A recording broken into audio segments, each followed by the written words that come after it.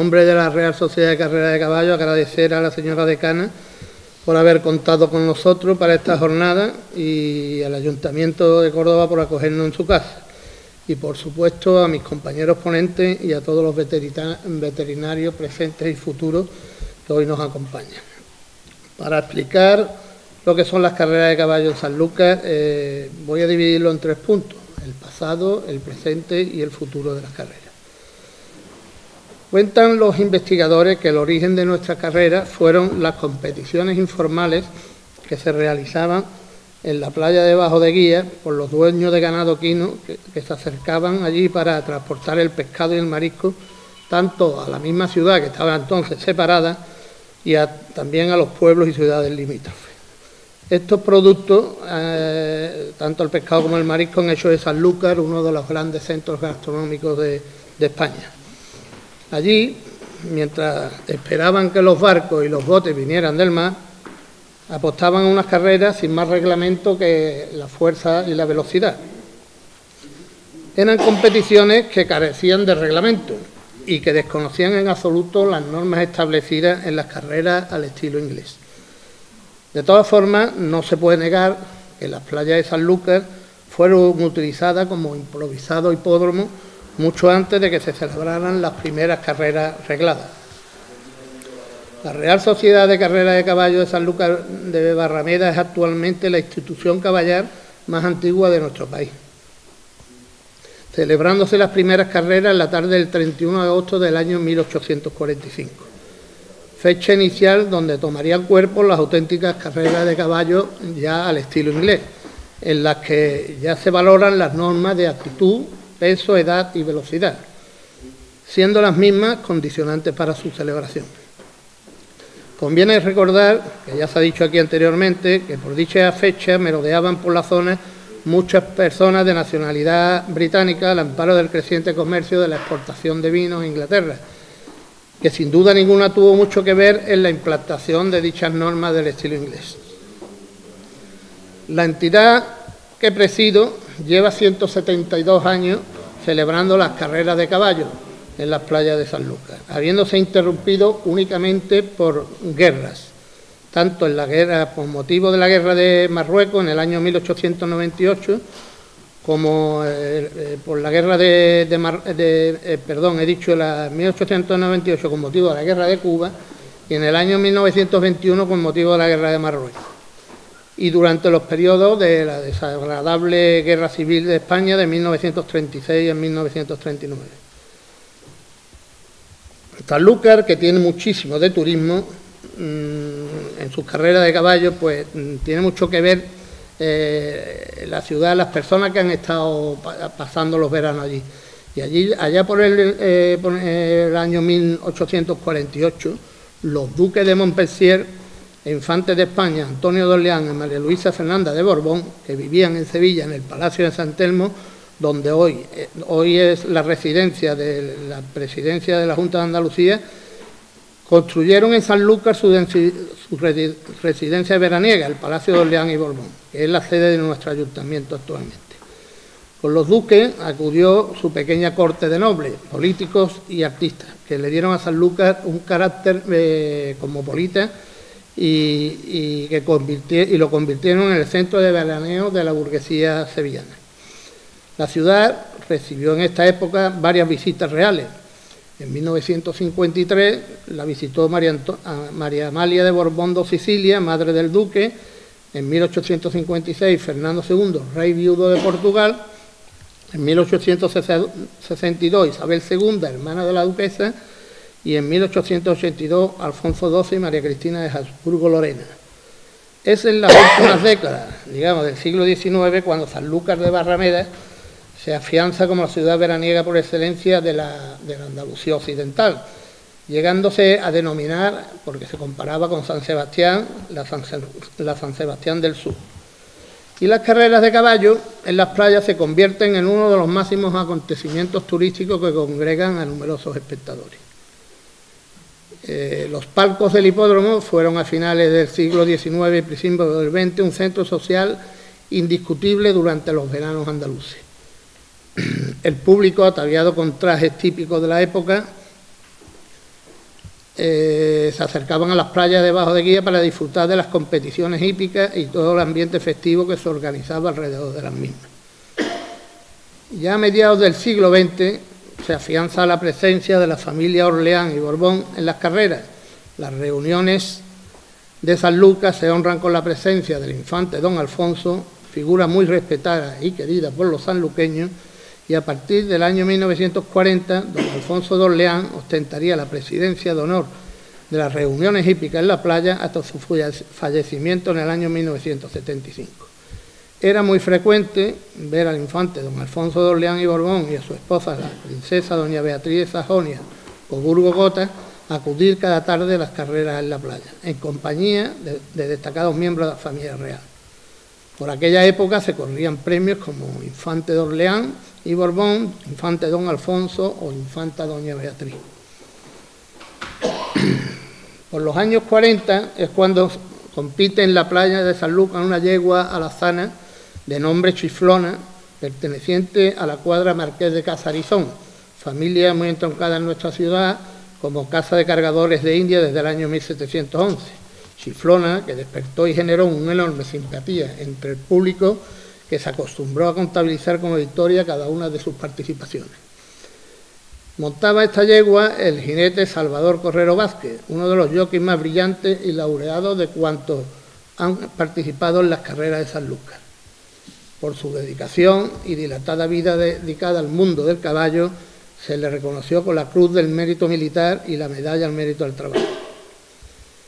Y allá por el año 1995, que celebramos los 150 aniversarios de la fundación de las carreras de caballos Playa de San Lucas, bajo la presidencia de Su Majestad Don Juan Carlos I, esta fecha supuso un antes y un después en la historia del espectáculo ecuestre. Quiero recordar que antiguamente se, corrían las carreras desde lo que era la playa, o sea, la, eh, punta del Espíritu Santo hacia abajo de Guía y luego ya cambió desde bajo de guía, como actualmente se hace, hacia la punta del Espíritu Santo. Y se pasaron, ya hablando del presente, se pasó de celebrar un ciclo de tres días a dos ciclos de tres días consecutivos del mes de agosto, en fechas que coinciden con las grandes coeficientes de bajamar. Por lo tanto, tenemos que tener en cuenta que a la hora de fijar las fechas del calendario de cada temporada, eh, tenemos, influyen muchísimos factores. Hay que ajustarla muy bien porque las mareas no pueden coger y bueno, hay que, hay que encajarla entre una hora que va de las 6 a las 9, a y media de la noche. La pista de carrera, pues como se ha hablado aquí, está compuesta por la franja de arena húmeda que deja las bajas mares de agosto y está limitada por sus extremos, como he dicho anteriormente, por bajo de guía y el paraje cercano de la punta del Espíritu Santo. Teniendo una longitud de aproximadamente unos 2.000 metros, y claro, la orilla marina con el verde horizonte del Parque Nacional de Doñana al fondo y el paseo marítimo, a cuyos pies se, se, sitúan los miles de espectadores, son los magníficos flancos entre los que discurren los caballos en competición. Las carreras de caballos de San Lucas, y que decir tiene, poseen unas propiedades las que distinguen de, de otros acontecimientos ser un deporte ecuestre y llevar unido el hecho de constituir un acto eh, turístico y social, desde donde el pueblo y con los miles de visitantes son los, los mayores participantes. Este conjunto hace que este espectáculo lleno de vida, sabor, color, tradición y tipismo se quede grabado en el recuerdo para siempre. Y el mayor mérito de estas carreras es su conservación a lo largo del tiempo siendo las razones principales de esta continuidad el marco donde se desarrollan y el ambiente social que genera cada verano. Este año hemos aforado en el interior para que, del recinto de llegada, los que conocéis aquello lo podéis, días de carrera que han superado las 13.000 personas y a pie de playa más de 35.000. Sin embargo, el atractivo que ha provocado el creciente interés nacional e internacional por estas carreras de caballos radica fundamentalmente en las características del lugar en que se llevan a cabo. El insólito marco, el hipódromo lineal de mayor longitud de España, Doñana como fondo y la belleza de las puestas de sol. Todo este conjunto que configura lo que se ha dado en llamar el mayor espectáculo de las playas del sur. Y cada año, a partir del mes de junio, se comienzan con los trabajos de montaje del recinto de llegada, el cual ocupa una superficie aproximada de 25.000 metros cuadrados, cedido durante los meses de verano merced a un acuerdo con el, entre el Ayuntamiento de la ciudad y la Mercancía Provincial de Costa. Este espacio se construye todos los elementos que son necesarios para improvisar un hipódromo temporal. Muchos se preguntaréis que hablo aquí del ayuntamiento y el ayuntamiento aquí no está representado. Pues bien, las carreras de caballo de Sanlúcar, que es un patrimonio de Sanlúcar, eh, la gestiona un club deportivo como es la Real Sociedad de Carreras de Caballos, que es un club eh, privado. Esto es una figura que existe, que está ahí, que nadie se mete con nosotros porque, claro, mientras que llevemos 172 años, como llevamos haciendo las cosas medianamente bien, o como quiera llamarse, los políticos eh, dudan en meterse y, en fin, ahí estamos. Durante los últimos años también hay que decir que nuestras carreras han venido mereciendo la atención creciente de los medios de comunicación, cadenas de radio y televisión, prensa tanto nacional como internacional y páginas web. Y deciros que las carreras también, con el trabajo y el esfuerzo de todos los que remamos en este barco, nos hemos mantenido y hemos evitado naufragar en estos años tan duros de crisis económica.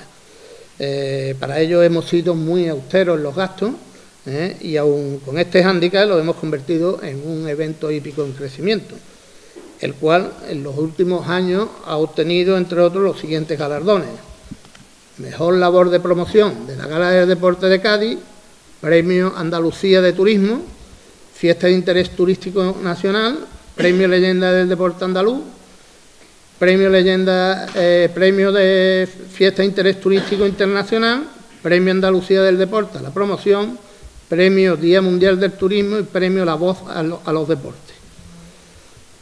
Bueno, y hablando de futuro, pues ahora que parece que cambia el ciclo económico y ayudado por la asignación de dos, de dos, eh, dos jornadas de soporte del AE, de la, de la quiniela hípica, como bien decía Cristina antes, en dos hermanas, porque hacen un jueves por la noche que allí no hay nadie en las carreras. Pues nosotros tenemos 35.000 personas en la playa, viendo 13.000 en, en, el recinto de llegada y encima pues tenemos dos, días de quiniela hípica.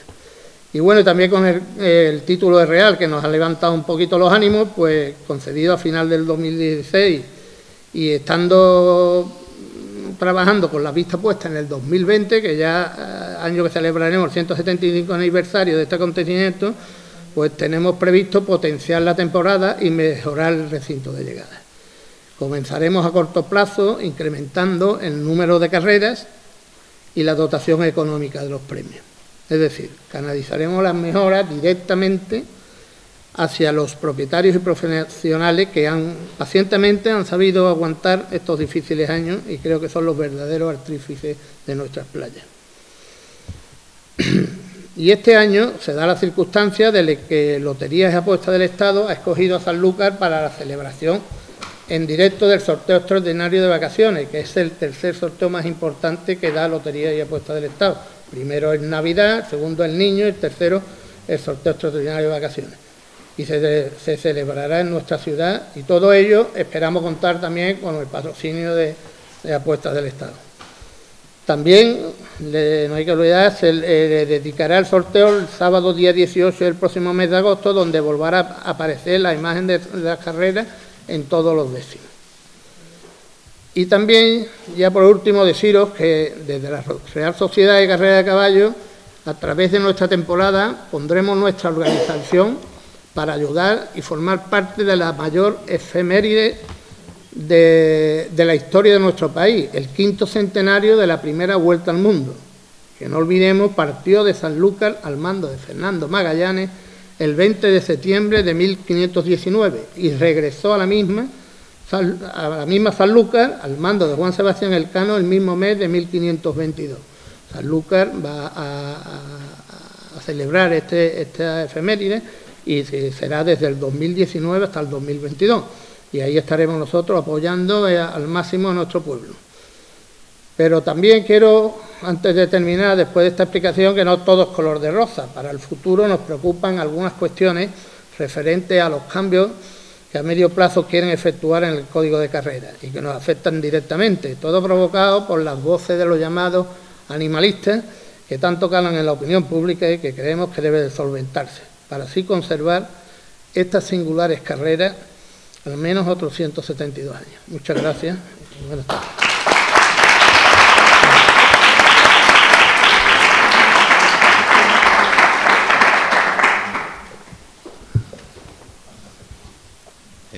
Buenas tardes.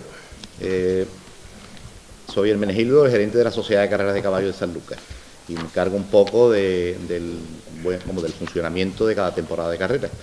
Eh, quiero, ante todo, y lo, primero que me gustaría decir es pedirle a Cristina esa foto para los archivos de las carreras, porque me ha encantado la foto, nos ha gustado todo, y, la verdad, y lo ha tenido, me encantaría tenerla. Estupendo.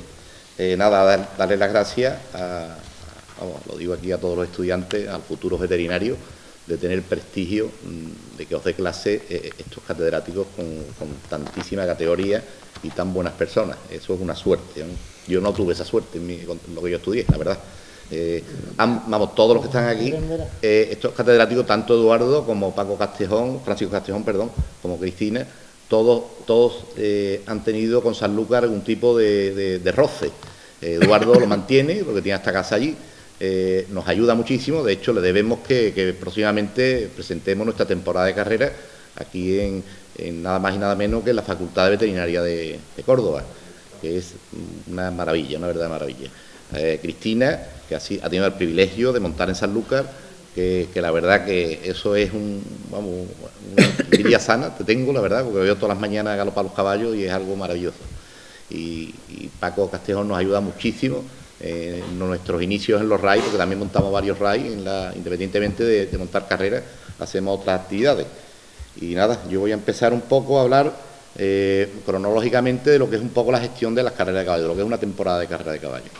Comenzamos, aunque insista un poco en, lo que ya ha dicho un poco Cristina y lo ha, y lo ha dicho mi presidente Rafael, eh, lo, principal en una temporada de carrera que lo hacemos con tiempo, sobre el mes de octubre mm, empezamos ya a buscar la asignación de las fechas de temporada de carrera.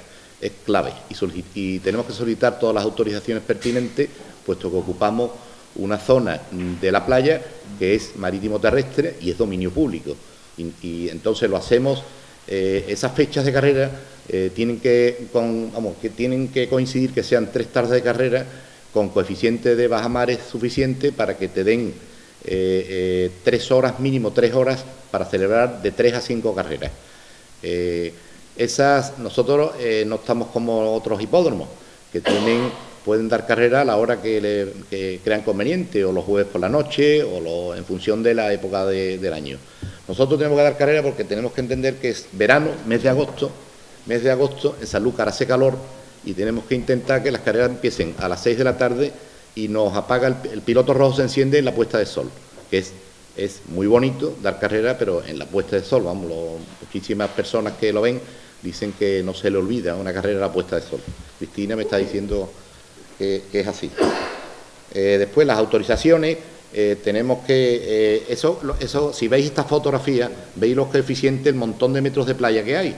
Eso nos permite que la pista eh, esté totalmente compactada, esté eh, regada, regada mm, mm, lógicamente por, las mareas, y, esta pista, eh, según los entrenadores, según los jinetes y según los veterinarios, que para nosotros son muy importantes, dicen, todos coinciden, mm, José Luis Martínez, medalla de oro al deporte, Guillermo Ariscorreta, Carlos Lafón, ganador de la Copa, dicen que es la pista que menos problemas de tendones dan en caballo. Al ser dura, parece ser, dicen ellos, según los profesionales, y según nos cuentan, es la pista idónea eh, eh, por excelencia.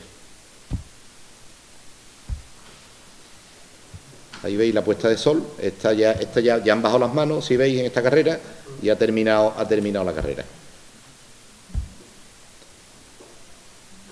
Eh, tenemos que, nosotros tenemos a la hora de pedir autorizaciones cada temporada, tenemos que contar con varias instituciones. Una de ellas es el ayuntamiento, el sentido ayuntamiento de la ciudad, demarcación de costa y la Consejería de Medio Ambiente. Tenemos que preparar a, todos cronogramas de montaje, puesto que ocupamos 25.000 metros de playa, como ha dicho mi presidente. esa, eso, ese, en ese cronograma de montaje necesitamos montar un hipódromo temporal, pero completo. Tiene que haber eh, eh, tribunas, tiene que haber pados, tiene que haber montón, montones de servicios, pues eh, zona de peso, mm, carpas, jockey club, mm, todos los servicios necesarios de un hipódromo. Y mm, al hacerlo en, dominio público tenemos que molestar lo mínimo a los bañistas, porque es una zona de playa que es, muy frecuentada. lo último que hacemos es cerrarlo, para, evitar problemas y para no incomodar a ninguno de los, de los, de los bañistas. Es decir, tenemos que convivir con, los turistas y con las personas que están veraneando, que no es fácil. Eh, también, y a la vez, tenemos que empezar a captar patrocinio. El patrocinio es el alma mm, mm, de una temporada de carrera. Eh, nosotros tenemos la suerte, o tenemos, no sé, yo creo que es el cariño que se le tiene a, a, lo que es la Real Sociedad de Carrera de Caballo, que nos movemos mucho, muchísimo captando patrocinio. Hay otras sociedades organizadoras que se nutren principalmente de loterías apuestas del Estado, de la CEPI. Nosotros tenemos dos tipos de patrocinio. Tenemos uno que es el patrocinio privado de empresas privadas y otro que le llamamos de organismos oficiales. Eh, eh, es patrocinio, no es subvención. Mm, recuerdo, una subvención te la dan y te la dan por prácticamente por nada. A nosotros eh, nos interesa muchísimo, creo que es parte del secreto de, de nuestras carreras, es que asociamos las carreras a grandes marcas, a grandes marcas que convivan dentro de la temporada y no se molesten. Es más, que creen empatía entre ellas e incluso se piquen, que, que, atraigan, que atraigan a más marcas importantes. Eso es clave para nosotros. ¿Por qué? Porque una temporada de carrera cuesta mucho dinero. El, celebrar carreras cuesta muchísimo, muchísimo dinero. De hecho, las carreras nuestras eh, tenemos premios que con IVA incluido llega a los 17.000 euros un premio y, y era que no, es complicado. Una, de las pruebas, 17.000 euros, cada día de carrera cuesta más de 100.000 euros montarlo. Eh, eh, entonces hay que buscar recursos y los recursos no son fáciles de buscar, y menos con las épocas que hemos, que hemos, pasado. Ahora parece que estamos remontando un poco y vamos viendo un poco que, hay empresas que se están animando, sobre todo, y, grandes empresas. Eh, para ello, tratamos de cada acto, cada patrocinio que hacemos, tratamos de comunicarlo. Es importante que, que toda, la sociedad vean que estamos vivos, que estamos vivos y forma de estar vivo es cerrar acuerdos y, lanzarlo a los medios. Y lo lanza y, comunicamos, y, comunicamos con todo tipo de empresas. Ahí veis presidente del Consejo Regulador, eh, veis eh, Diputación Provincial de Cádiz, veis el Betia, nuevo este año, veis Mercedes, Cajasol, y, y, etcétera, etcétera. Y así pues, componen más de 50 patrocinadores que tenemos actualmente, o, estimo que vamos a cerrar este año. Otra cosa importantísima es el, el, establecer el programa oficial de cada temporada. En el programa oficial eh, hay, que, hay que tener en cuenta mm, que tenemos que tener la habilidad, o el comité de programa tiene que tener la habilidad de, que, de programar carreras de caballos que son susceptibles de venir. Eso hay que acertarlo, por lo menos un 80%, porque a la hora de hacer las condiciones de las carreras tienen que ser condiciones para que, para que participen muchos caballos de los que van a venir, que no sean nunca un hándicap a la hora de participar. Nosotros tenemos, mm, no es como los demás hipódromos, que dan carreras los sábados o los jueves. Nosotros damos tres días seguidos carreras. Es decir, hay montones de caballos que descansan un día. Tenemos que tener un número de caballos que nos aseguren que las carreras tengan un mínimo entre, para que haya un poquito de competición y haya un poquito de animación, entre 6 y 12 caballos. Eh, no es fácil, no es nada fácil. Entonces, no se puede uno equivocar con los programas mm, de carreras. Eh, para ello contamos con personas muy, muy preparadas eh, que se, asesoran estupendamente y le ayudamos muchísimo desde la oficina de las carreras. Después, mm, una cosa importantísima a la hora de la gestión de las carreras es garantizar eh, la, participación y la repercusión en medios. Para ello hacemos acuerdos con grandes medios de comunicación. Eh, eh, con esos acuerdos nos garantizan, nos garantizan que vamos a estar en el mundo. Vamos a estar en el mundo no solo las personas que lo van a ver las personas que in situ vean el, espectáculo, lo van a ver en todo sitio. De hecho, tenemos desde televisiones chinas, el New York Times y, lógicamente, todos los que veis ahí en la pantalla, que con todos hacemos acuerdos. ¿Acuerdo? Que mm, esos acuerdos consisten en que ellos tienen mm, presencia en las carreras, o con una carrera, o con parcos mm, de empresa, o publicidad estática, aparición eh, con documentales, etcétera, etcétera. Montones de formas que hay de estar en las carreras. Eh, para que veáis un poco una temporada de carrera en número, el presupuesto del, año pasado fueron 780.000 euros de gasto. Independientemente, nosotros tenemos también otras sesiones en, las carreras de caballo que, lo llevamos aparte, lo llevamos por, la, dividimos. Eh, tenemos, aparte de las carreras, tenemos club, le llamamos club, y después las escuelas. escuela de tenis, escuela de pádel, escuela de equitación, eh, pupilaje, y todo ello mm, aproximadamente llega al millón, millón cien mil euros de gasto. Las carreras, eh, el año pasado, eh, la cantidad fueron 780.000 euros, pero lo importante de las carreras fueron la repercusión en medio, que ahí lo veis en esta, en esta diapositiva, hubo 4.073 referencias entre prensa, radio, televisión y redes sociales.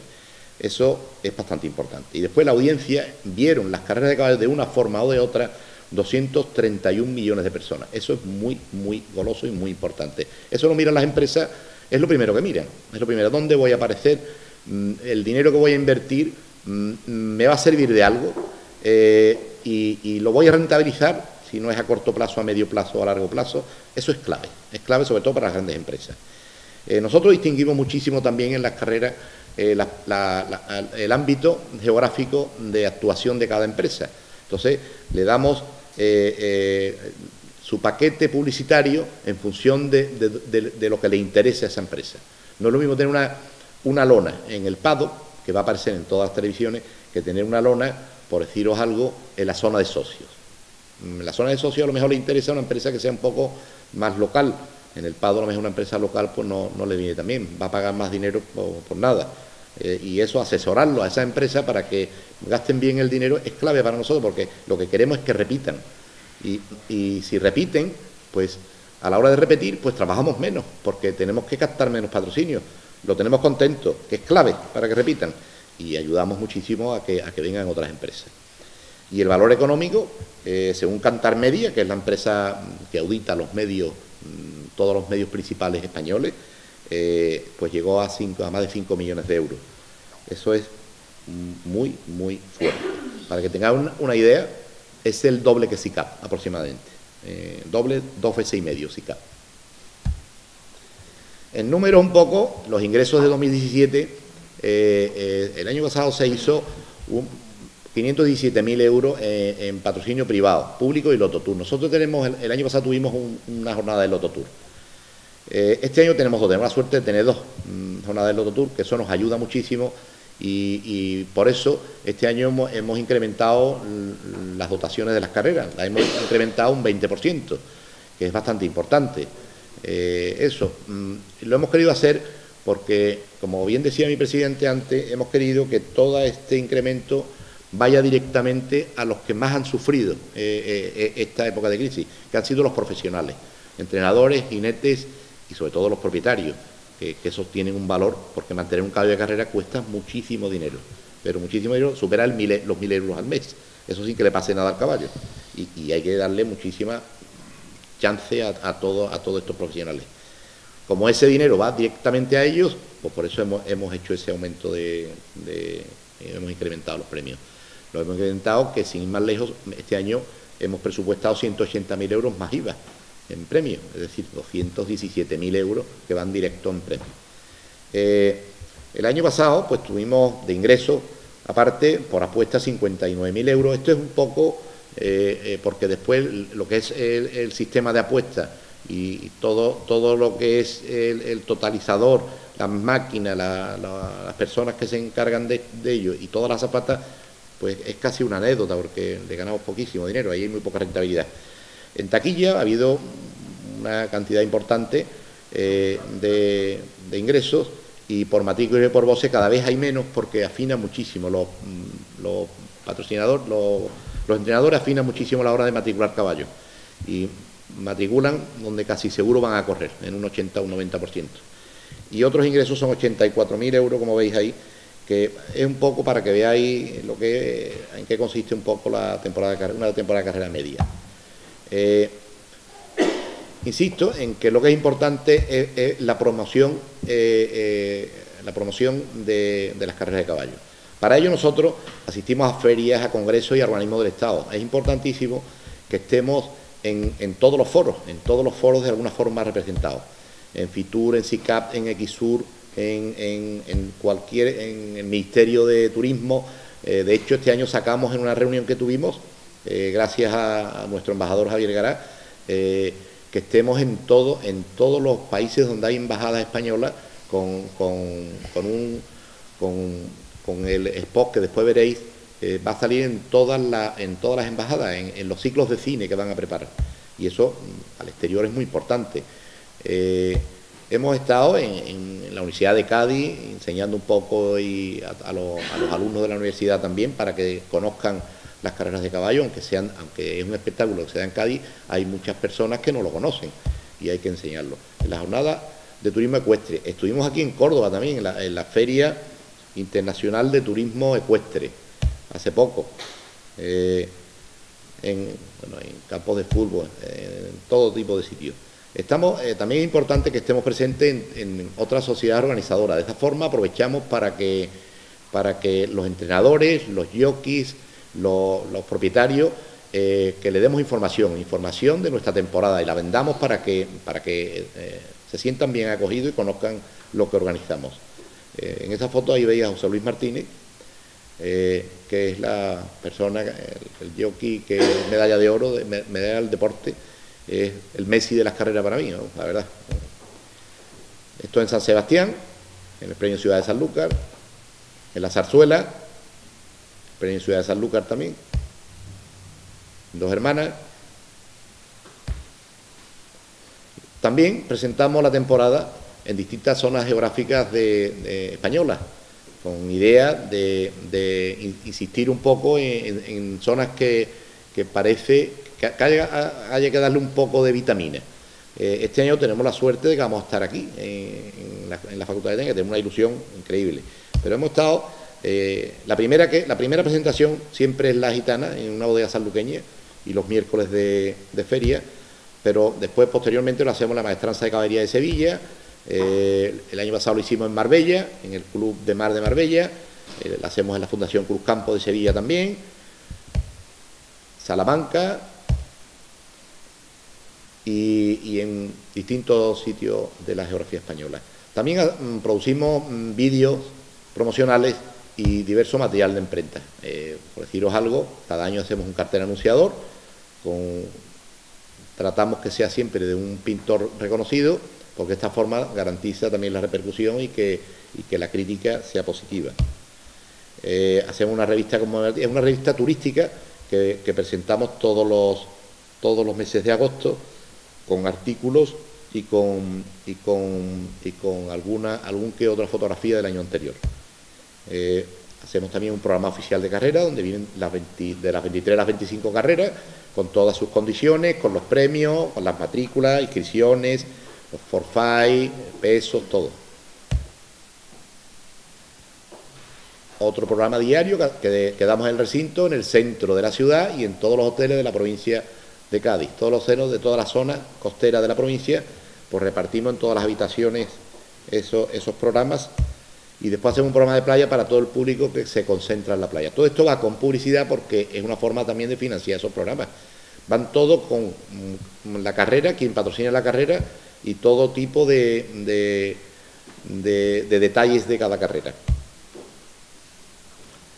Eh, el cronograma de montaje se monta, vamos, lo que, lo que son las carreras de caballo, el recinto de carreras se monta en esta zona de la, de, la, de la playa, que no hay nada, como veis no hay nada en estos momentos y se convierte después en esto. Ya he visto algunas fotos y ahí se, se, tienen que improvisar todo tipo de, elementos que son necesarios para un día de carrera.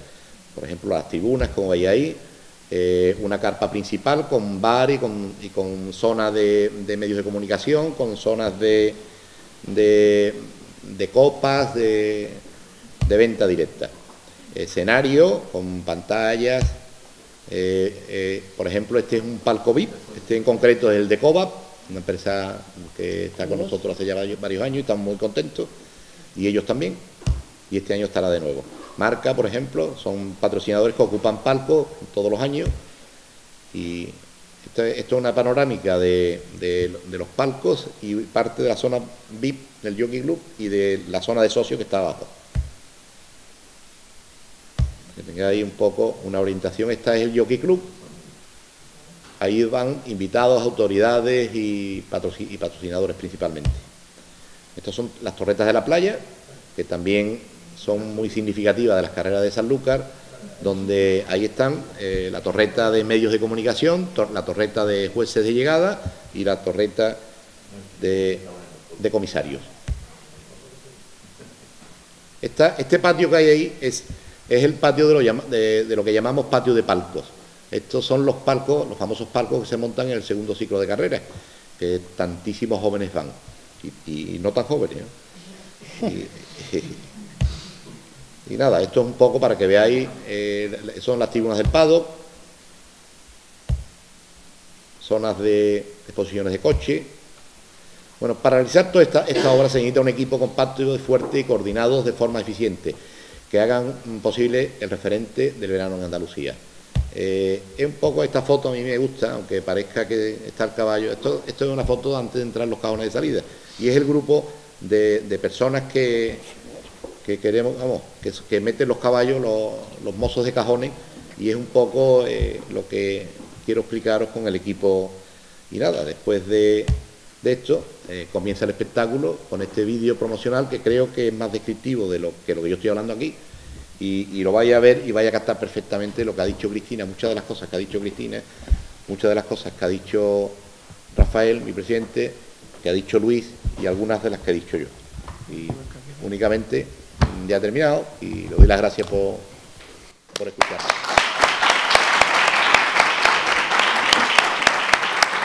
Muy bien. Dos ponentes, Porque ahora sí que sí